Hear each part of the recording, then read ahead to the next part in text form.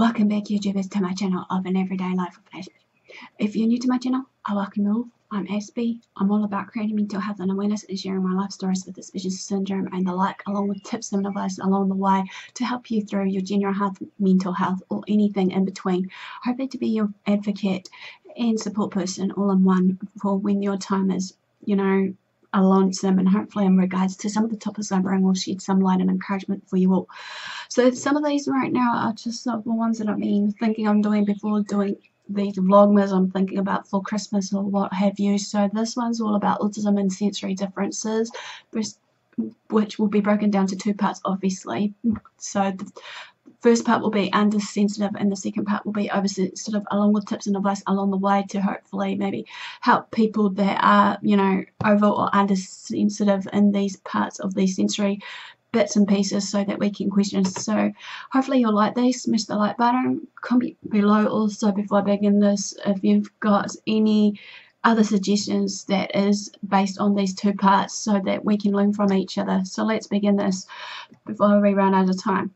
You know, as we know, many people on the autism spectrum just sort of thing, or just anyone in general may have difficulty processing everyday sensory information because of everything that is going on around them, regardless of maybe busy traffic, maybe hearsay, or there's crowds behind them talking and amongst themselves, the noisy noisy environment versus the sounds of kettle whistling if they were in a cafe and stuff and whatever the case may be. Any of the senses may be over or undersensitive even both at different time periods. These sensory differences can affect the behavior of children and can have a profound effect on a person's life. Here, I hope to help you to understand autism as well as just basically the person themselves and how to help them. You can also find out synesthesia therapies and equipment. So let's begin this. Too much information. Sometimes an autistic person may behave in a way that wouldn't immediately link to the sensory sensitivities. You wouldn't think so. A person who struggles to deal with everyday sensory information can experience sensory overload or information overload. As I've said before, I've already talked about the sensory overload, which I'll link it in the description as well as putting it in the above for you to check it out so you can understand to where I'm going. Too much information, however, can cause stress, anxiety, and possibly physical pain. This can then result for the person to withdraw in themselves and have their challenging behaviors or meltdowns. If I get a sensory overload, then I just shut down. You get what's known as fragmentation. I know it's weird to some of you, but this is just how it works. It's like being tuned into 48 TV channels all at once. If someone is having a meltdown or not responding, don't forever judge them. There are things that you can do to help them. This can make a world of difference to someone with autism and for the carers involved that may need their assistance. So therefore, again, I suggest to look into what a meltdown and all that is with the information below of this. Often, just the tiniest small amount of changes to the environment can make a difference. Creating a sensory profile may help you to work out what changes are needed. Three points to remember though when considering this is one, be aware. Look at the environment to see if there is any creating difficulties.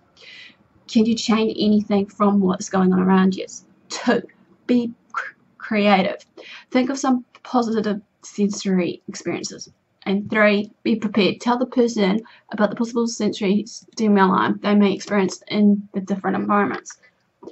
How sensory overload might feel for an autistic person. Maybe I can suggest to you to watch a short film which shows what it could feel like to experience a sensory overload, which hopefully I can find that video about this lady that I was watching who has this. You know, just remember this film might have flashing lights, bright colours and loud sounding noises and the going on about it.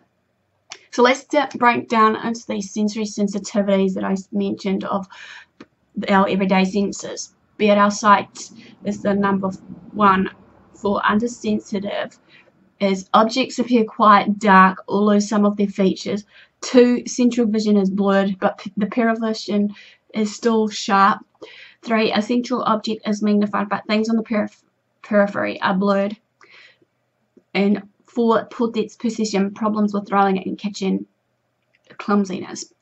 Ways you might be able to help them is the use of visual supports or coloured lenses, although there is only very limited research evidence for such lenses. For the sound when they're undersensitive, you may only hear sounds in one ear, the other ears having only partial hearing or none at all, may not acknowledge some particular sounds around you, inability to cut sounds, notably background noise leading to difficulties concentrating. Do you hear noise in the head? It pounds and screeches like a train rumbling through your ears. You could help by shutting doors and windows to reduce any external sounds around them, preparing a person before going to a noisy or crowded place, providing earplugs or headsets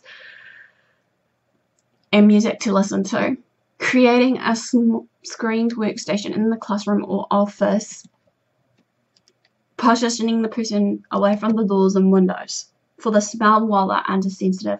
Some people may not have no sense of smell and fail to notice extreme odors. This can include their own body odor, which is sad but true. Some people may lick things to get a better sense of what they are. You could help them by, for this tip, creating a routine of around regular washing and use strong smelling products to distract people from inappropriate strong smelling stimuli like feces. But bear in mind that also in saying this that sometimes may be hypersensitive to the smells of perfumes and deodorants and other things. Taste for the undersensitive likes very spicy foods. Eats or mouths non-edible items such as stones, dirt, soil, grass, metal, feces. This is known as pica. Touch is basically understandable. Holds other tightly needs to be do so before there is a sensation of having applied any pressure. Has a very high pain threshold and may be able to feel food in the mouth, may self-harm, enjoys heavy objects like your weight in blankets, for example, on top of them. Smears feces as they enjoy the texture, choose on everything, including clothing and inaudible, inedible objects. Tip and advice here is you could by for smearing, offering alternatives to handle with similar textures, such as jelly or corn flour and water. For chewing, offering latex-free tube straws or hard sweets chill in the fridge.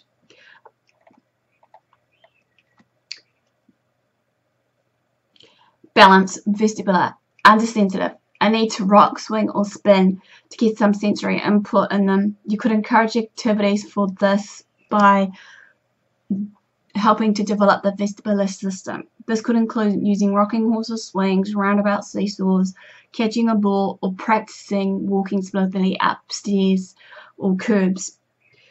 Body awareness. Pro, proprioception. Our body awareness system tells us where our bodies are in space and how different parts are moving. Undersensitive. Stands too close to others because they can't measure the proximity to other people and judge personal space, finds it hard to navigate rooms and avoid obstructions, may bump into people.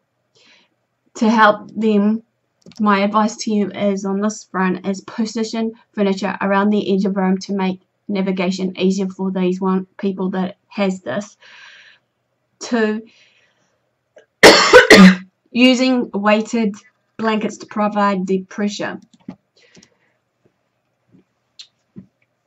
putting colored tape on the floor to indicate boundaries, using the arm's length rule to judge personal space. This means standing at arm's length away from people.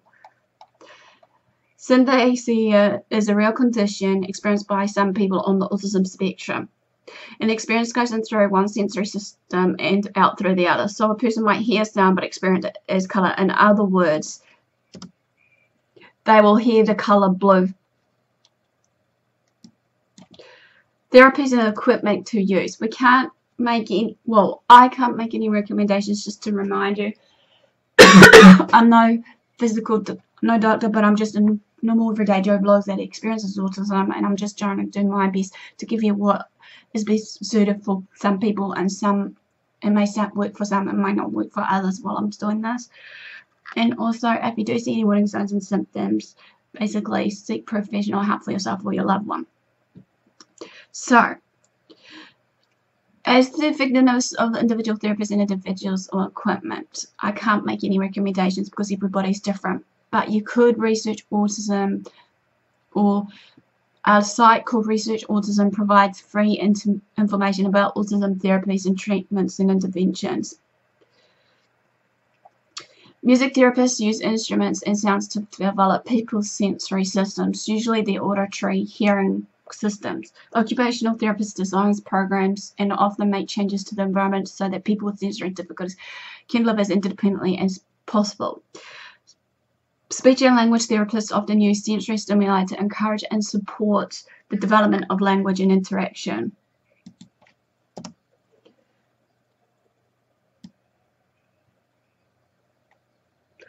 I'll list below also some books that might be of use for you guys in doing this as well as well as maybe also some other resources that will be uh, beneficial to you.